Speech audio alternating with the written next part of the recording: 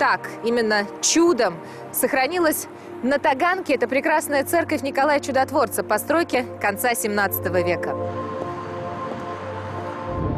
При строительстве подземного промежуточного вестибюля станции метро Таганская кольцевая ее должны были сносить. Эскалаторы проходят четко под ней, а сделать выход из метро по-другому совсем не получалось. Но церковь все еще стоит на месте, и вестибюль построен там же, где планировалось. Вопрос – как?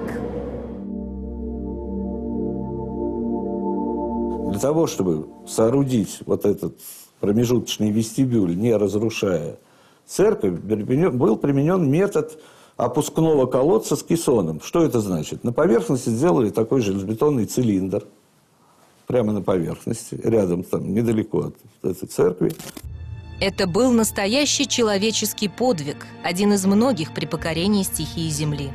Тоннель Кессон – это кусок тоннеля с кессоном снизу. Рабочие находятся в закрытом помещении, куда, как в барокамеру на большой глубине, воздух подается под высоким давлением, оно не дает воде хлынуть внутрь. В тяжелейших условиях люди вынимают грунт и подают его наверх, чтобы насыпать на перекрытие тоннеля.